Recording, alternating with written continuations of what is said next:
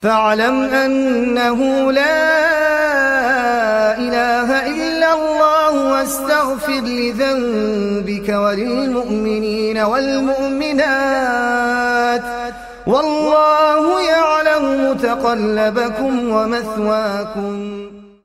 أن أمته ستفترق على ثلاث وسبعين فرقة كلها في النار إلا واحدة. وهي من كان على مثل ما عليه النبي صلى الله عليه وسلم وأصحابه ولا يهولنك كثرة الجمع فالحق هو الحق وإن لم يأخذ به إلا واحد Bismillah ar-Rahman ar-Rahim. In the name of Allah, the most gracious, the ever merciful. Alhamdulillahi Rabbil Alameen. All praise is due to Allah, the Lord, creator and sustainer of all things. والصلاة والسلام على أشرف خلق الله أجمعين.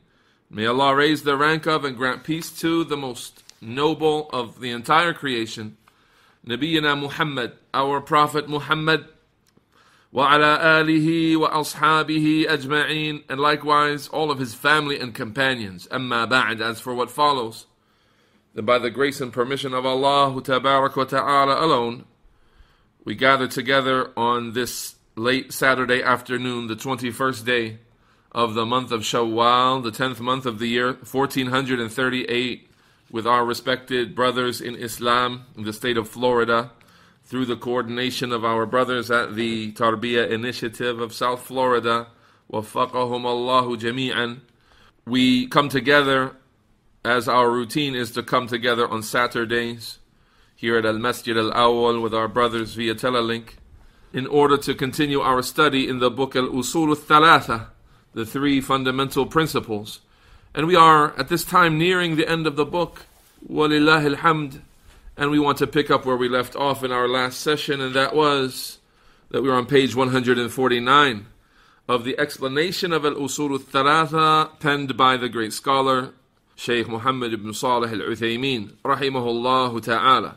We last read from the text of Al Usul al Thalatha, وَمَنْ كَذَبَ بِالْبَعْثِ كَفَرْ And whoever denies resurrection, that he's a disbeliever. وَالدَّلِيلُ قَوْلُهُ تَعَالَى The evidence is the statement of Allah the Most High. زَعَمَ الَّذِينَ كَفَرُوا أَنْ لَنْ يُبْعَثُوا The disbelievers have falsely assumed that they shall not be resurrected. قُلْ بَلَا وَرَبِّي لَتُبْعَثُنَّ Say, O Muhammad, certainly I swear by my Lord you shall absolutely be resurrected. ثم لتنبؤن بما عملتم. And then you shall be certainly informed of what you did. وذلك على الله يسير. And that is upon Allah something easy. And that is from Surah At-Taghabun the 7th verse. That's where we ended last time with its explanation. Today we pick up in the matn in the text of Al-Usul Al-Thalatha on page 148 with the statement of Shaykh al-Islam Muhammad ibn Abdul Wahhab rahimahullah ta'ala. He said, وَأَرْسَلَ اللَّهُ جَمِيعَ الرُّسُلِ My printing says جَمِيعُ. It should be جَمِيعَ وَأَرْسَلَ اللَّهُ جَمِيعَ الرُّسُلِ مُبَشِّرِينَ وَمُنذِرِينَ And Allah sent the entire body of messengers as bringers of glad tidings and as warners. وَالدَّلِيلُ قَوْلُهُ تَعَالَى And the evidence for that is the statement of Allah the Most High, رُسُلًا مُبَشِّرِينَ وَمُنذِرِينَ Messengers made as bringers of glad tidings and warners لِأَنْ لَا يَكُونَ لِلنَّاسِ عَلَى اللَّهِ حُجَّةٌ بَعْدَ الرُّسُلِ In order for there not to be against Allah with the people any proof after the sending of the messengers. And that verse is from Surah An-Nisa, the 165th verse. In explanation of this verse and this statement in the text, Shaykh Muhammad bin Salih al-Uthaymeen stated, بين المؤلف رحمه الله تعالى The author clarified, and may Allah the Most High have mercy on him, أن الله أرسل جميع الرسل مبشرين ومنذرين that he, Allah, sent the entire body of messengers as bringers of glad tidings and warners, كما قال تعالى, as Allah, the Most High, has said, رسلا مبشرين ومنذرين, messengers, bringers of glad tidings and warners. يبشرون من أطاعهم بالجنة, they give glad tidings to those who obey them of paradise. وينذرون من خالفهم بالنار, and they warn those who oppose them with the punishment of the fire. وإرسال الرسل له حكم عظيمة and the sending of the messengers has within it a number of great points of wisdom. من أهمها بل هو أهمها from the most important of them or rather this is the most important of them أن تقوم الحجة على الناس so that the proof is established upon the people حتى لا يكون لهم على الله حجة بعد إرسال الرسل so that there does not remain any proof against Allah after the sending of the messengers. كما قال تعالى, just as Allah the Most High has stated, لأن لا يكون للناس على الله حجة بعد الرسل. In order for there not to remain any proof against Allah after the messengers. Again, that's from Surah An-Nisa. ومنها, and from the points of wisdom, that are behind the sending of messengers أنه من تمام نعمة الله على عباده that it's from the complete nature of the blessings that Allah has bestowed upon His servants فإن العقل البشرية that's because human intellect مهما كان no matter how great it is لا يمكنه أن يدرك تفاصيل ما يجب لله تعالى من الحقوق الخاصة به it is not possible for it to just on its own grasp all of the details of what is due to Allah the Most High, of specific obligations. ولا يمكنه أن يطلع على ما لله تعالى من الصفات الكاملة and it's not possible for human intellect alone to come across or to arrive at knowledge of all of the attributes of Allah, the perfect and complete attributes of Allah the Most High. ولا يمكن أن يطلع على ما له من الأسماء الحسنى and it's not possible for mankind with his intellect alone to arrive at all of the beautiful names of Allah. And just before going on, the author intends here. It is possible for a person to look at the creation and say, the Creator is intelligent, the Creator is powerful, the Creator is wise. When looking at the details of the structure of the creation, the intricacies of what is within the creation, these conclusions may be made, and they are attributes of Allah, and they are true. That Allah Ta'ala must be all knowing, He must be masterful, He must be powerful, He must not have anyone who limits Him or stops Him from what He does. He must be all powerful, all knowledgeable, all wise. And so these kinds of attributes can be deduced from the creation. But can you deduce about Allah looking at the creation that he has a foot and that he has a hand, two hands, and both of his hands are right hands. Can you deduce about Allah Ta'ala that he has ascended above his throne from looking at the creation? Can you deduce about Allah Ta'ala that he descends to the lowest heaven in the last third of every night? Can you deduce from the creation that Allah spoke to Musa on the top of Mount Sinai? Can you deduce from the creation, you know, these specific things about what Allah Ta'ala has done and what His attributes are? No. So the author means here that all of the attributes of Allah that we know of through revelation cannot be attained simply by reflection and thinking about the creation. While there are a few that can. You can see the mercy in the creation. From the instinctual mercy of a mother to her child, no matter what species you're looking at. And you must say the creator of all of these animals and all of this nature must be merciful. You can deduce these kinds of attributes, but you can't go beyond that into specifics. You can just deduce general attributes of perfection. You could not possibly deduce the specific, detailed ones that we know about through revelation. And that's what the author intended there. And Allah Ta'ala knows best. ولهذا أرسل الله الرسل عليه الصلاة والسلام and thus Allah has sent the messengers عليهم الصلاة والسلام May Allah raise their ranks and grant them peace. مبشرين ومنذرين He sent them as bringers of glad tidings and warners. وأنزل معهم الكتاب بالحق And He sent down upon them revelation in truth. ليحكم بين الناس فيما اختلفوا فيه In order for each and every one of them or you could say here ليحكم بين الناس فيما اختلفوا فيه In order for judgments to be made regarding what the people differ about. وأعظم ما دعا إليه الرسل من أولهم نوح عليه الصلاة والسلام إلى آخرهم محمد صلى الله عليه وسلم and the greatest of all matters that the messengers ever called to, from the very first of them, Noah, may Allah's peace and blessings be upon him, to the very last of them, Muhammad, may Allah's peace and blessings be upon him, at Tawheed.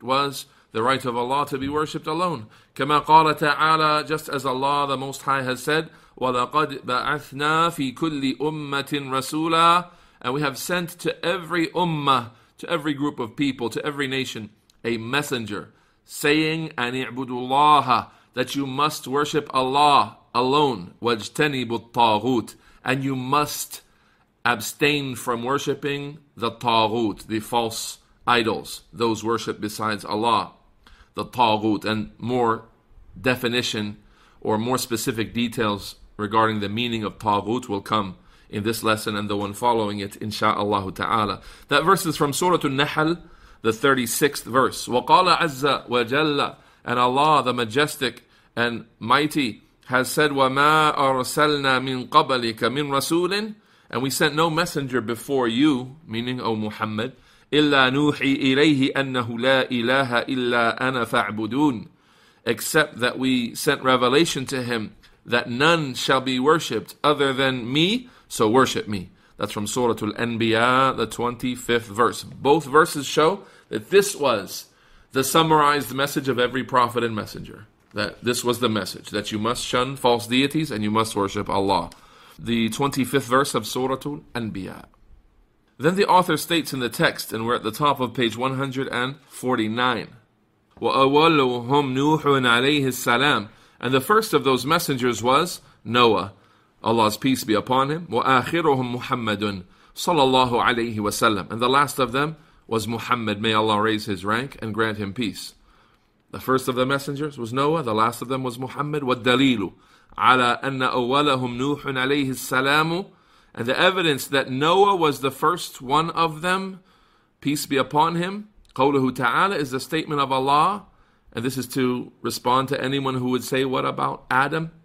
Wasn't Adam the first messenger? Allah Ta'ala said, Inna awhayna ilayka kama awhayna ila Nuhin wa nabiyyina min ba'dihi. Verily we have sent revelation to you, O Muhammad, just as we have sent revelation to Noah and the prophets after him.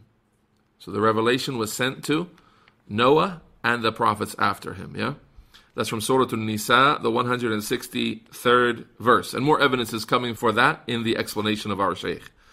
Shaykh ibn Uthaymeen rahimahullah ta'ala said, بيّن الشيخ الإسلامي محمد بن عبد الوهاب رحمه الله The author, Shaykh al-Islam Muhammad ibn Abdul Wahhab, may Allah have mercy on him, clarified, أن أول الرسل نوح عليه الصلاة والسلام That the first of the messengers was Noah, may Allah raise his rank and grant him peace. واستدل لذلك بقوله تعالى And he used as a proof for that the statement of Allah the Most High, إنا أوحينا إليك كما أوحينا إلى نوح والنبيين من بعده.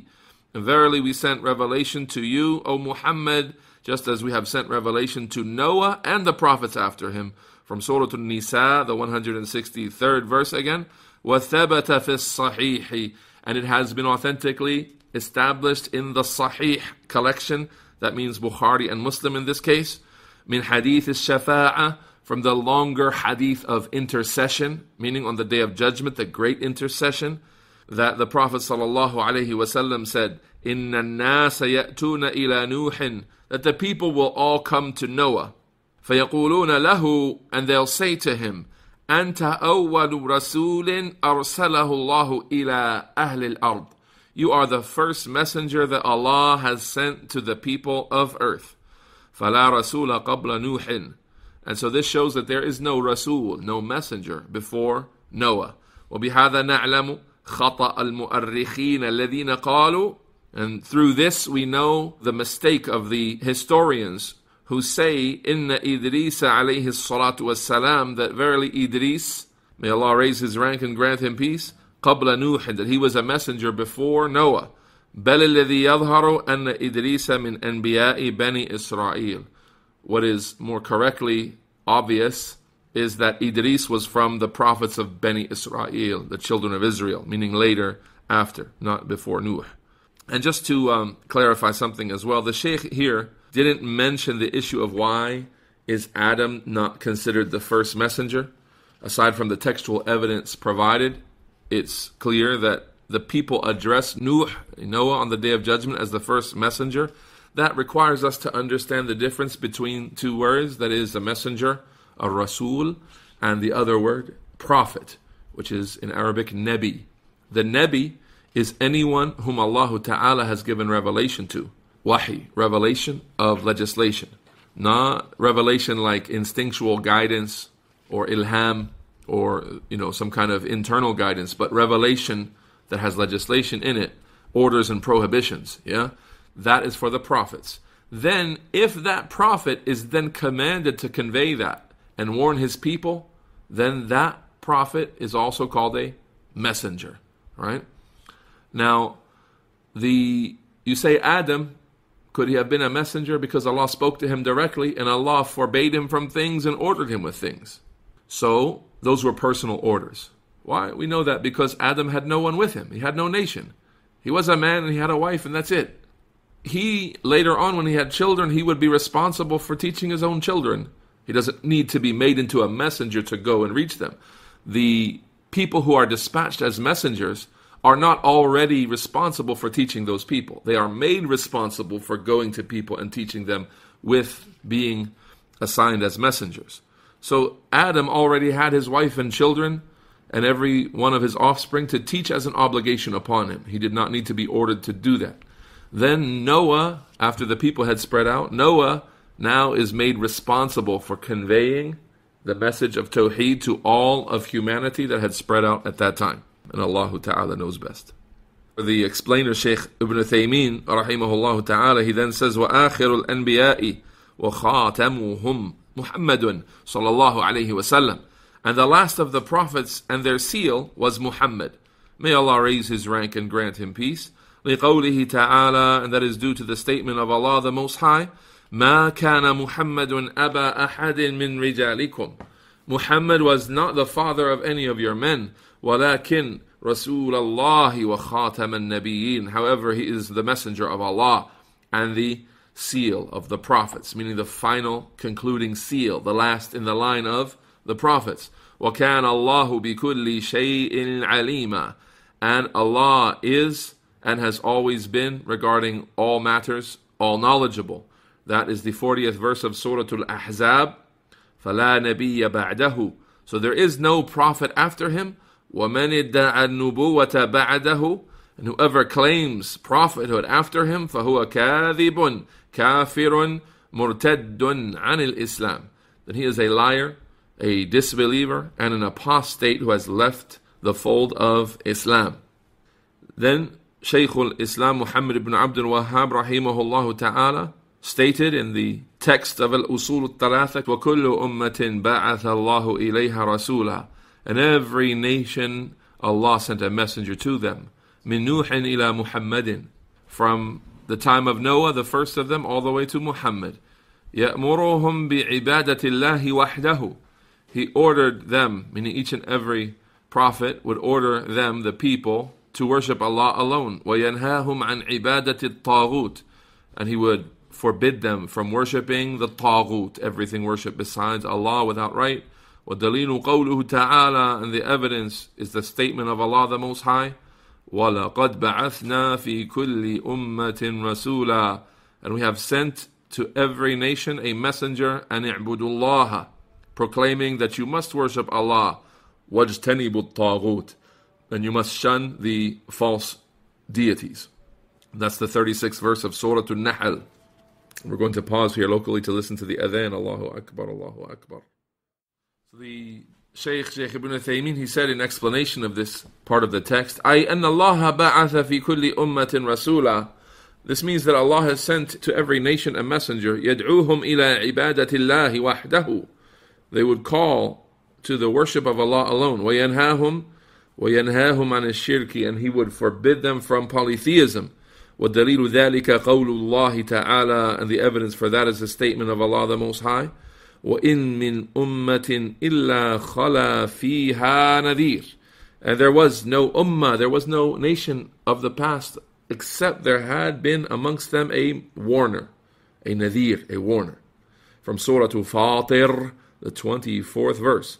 وقال, and Allah has also said, وَلَقَدْ بَعَثْنَا فِي كُلِّ أُمَّةٍ رَسُولًا أَنِ اعْبُدُوا اللَّهَ وَاجْتَنِبُوا الطَّاغُوتِ and Allah has sent, or we have sent to every nation a messenger proclaiming that you must worship Allah and that you must shun the false deities. And this is the meaning of La ilaha illallah, meaning the order to worship Allah and the order to shun all things worship besides Him. That is the essential meaning of La ilaha illallah, meaning a nafi and an ithbat. You negate something and you affirm something. So you negate the right of all things to be worshipped. You denounce it, you distance yourself from it, you disown that whole concept. No one is worshipped, period.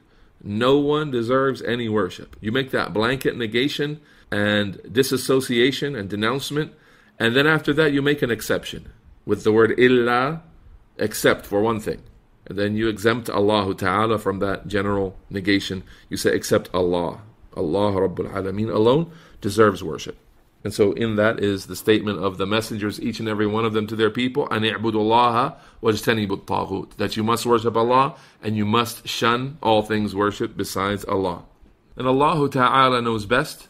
وصل اللهم وسلم وبارك على نبينا محمد وعلى آله وصحبه أجمعين والسلام عليكم ورحمة الله وبركاته